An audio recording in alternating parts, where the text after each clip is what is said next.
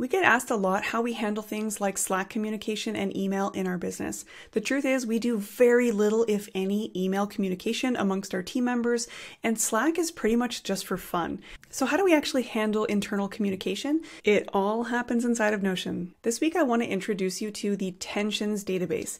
It's a place to store things that aren't quite a task. It can help you move communication out of email and Slack where things can tend to get lost. Tensions aren't necessarily good or bad, they're just things that need to be dealt with or resolved.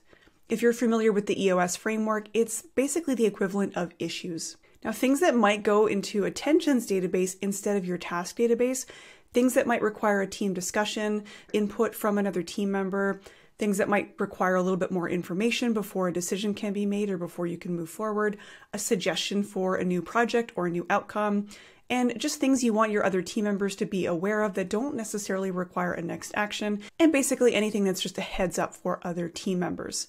So, how does this tensions database work and how does it integrate with the actions database?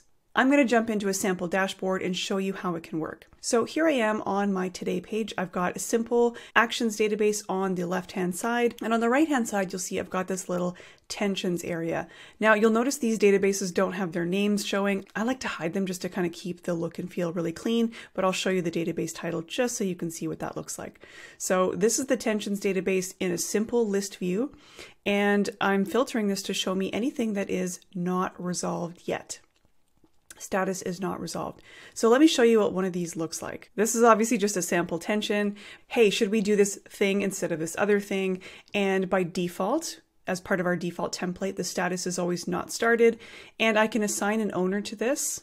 I can say I want Ben to take a look at that. And we've got a number of different types here. And this just helps us kind of sort and organize so that we understand what the person posting this tension is asking us to do. So in some cases, for example, it might just be, I just want to request a space to share this thing, just wanted to give you a heads up, I'm going on vacation next week, whatever it is. And that's just one simple way to categorize the action. So in this case, for example, I'm requesting that we maybe take a different direction and change an outcome or a project, and I can tag multiple team members, just a single team member, assign it a date. Uh, and this can be helpful too if you kind of need a response by a certain date, and you can turn on reminders for that as well. So I'll say on the day of event, make sure that Ben gets a reminder for that, and a URL if there's something relevant. Could be a link to an email thread or a website, anything like that and the created at and updated at, which are automatically time-stamped by Notion. So it's a super simple database. The only other thing that we have here is a relation to our actions database. So if I click on here, you can see OK Actions. That's a link to our database over here. Now, generally speaking, the idea is to solve this using this database. So we can add comments here, comments in the body, we can engage in dialogue, and we'll move that to in progress when we're doing that. Now, there isn't always necessarily a next step, but if there is, maybe there's somebody to follow up with, maybe there's, uh, you know, we're canceling an account or something like that, we can click here and say cancel that account. And that's just going to get added to our actions database.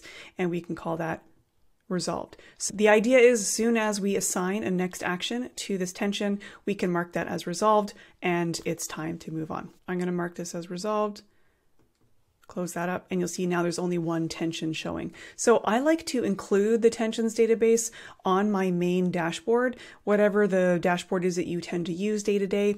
It's just something that is always there. It's always going to pop up in case a team member does add a tension. And it's one way to avoid having a lot of direct messages, emails, etc. So we basically use Slack as a place to be a little bit more fun. We post photos of our pets, we post uh, interesting topics, things that aren't really tasks. So anything that is action oriented or needs a discussion, we tend to move it into Notion as soon as possible. And that way we have a record of it. We know when that tension was brought up, whether there was a next action, how long it took us to resolve it, who resolved it, etc. So it's been a really handy way that our team can keep on top of some of these things that might pop up and that might prevent us from moving forward. But this is a really handy way to make sure that you've got this stuff documented. It's not getting lost across a number of different channels.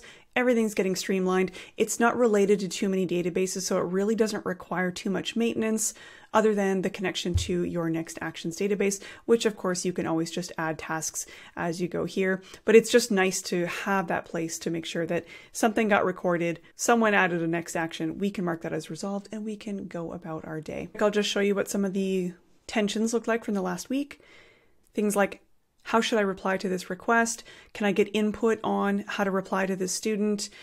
A lot of these are actually requests from students or other organizations wanting to work together in some way, and we might need another piece of information or a confirmation or someone on the team to make sure to give input on something before one of our team members writes a reply. We do our best to answer these within, you know, 24 to 48 hours of them being posted, and then we can continue along with our day. So that's it. It's a really simple database. It really helps us streamline our communication and make sure that things don't get lost in Slack, they don't get lost in email. As a team, we do not use email to communicate with each other whatsoever.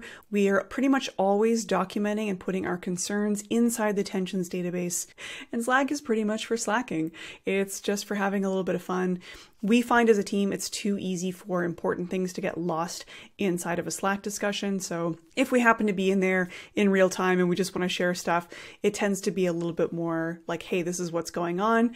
It's not really deep discussions about what needs to happen regarding a project. We tend to get that into Notion as soon as possible, and it has made for really streamlined projects. There's lots of different ways that you can use a database like this to kind of help you for things that they're just not quite a task yet. They might just need a little bit of input before you can move forward with a task. So I hope this is helpful. It's definitely really helped our team since we've implemented it. We've probably been using it for the last year or so, and uh, it's really helped streamline our communication. That's all for this week, and I'll see you next time.